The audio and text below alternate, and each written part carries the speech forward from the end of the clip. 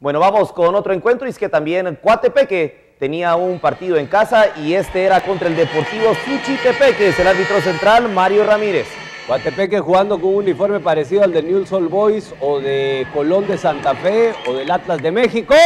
Ahí la chilena cerca del área de Ricardo Trigueño Foster. Insistía el equipo coatepecano, hay o no hay falta. Uh, yo no creo que haya falta contra Jimmy Villatoro, pero bueno, Jesús Navas con el tiro de esquina y el cabezazo en la línea se salvaba Coatepeque, que tenía las mejores opciones ofensivas, o por lo menos mayor número de ellas.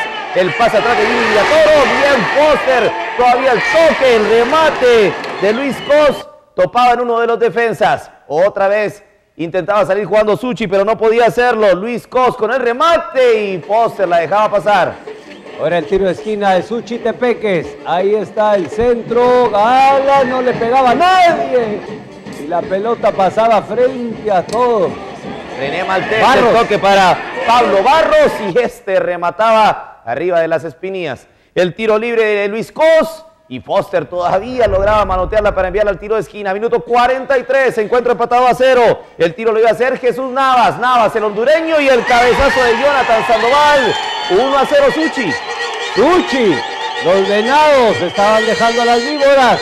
Bien, Jonathan Sandoval, él fue con los albirrojos de Estudiantes de La Plata cuando estaba en formación. Ahora defensa central de Suchi, cabezazo al lado izquierdo de la guardameta de Coatepeque, que era Cristian Álvarez, y 1 a 0 el partido. Trigueño bien el cierre, aunque no le pegaba la pelota ni nada, pero haciendo el achique respectivo. Ahora Coatepeque, el centro una vez más, el primer palo, va a pegarle, va a pegar.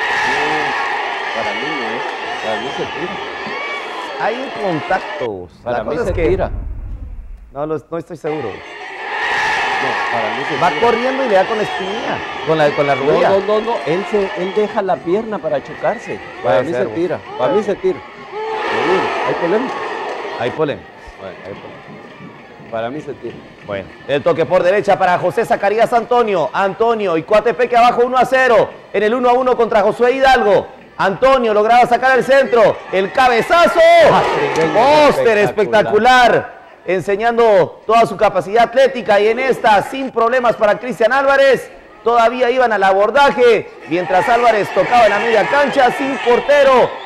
El remate de media larga distancia que no iba ni siquiera cerca al arco. De cualquier manera, Suchi jugando de visita en Coatepeque se lleva los tres puntos, victoria 1-0. Excelente triunfo de Suchitepeques. Mario Ramírez dijo, hasta aquí llegó esta pava.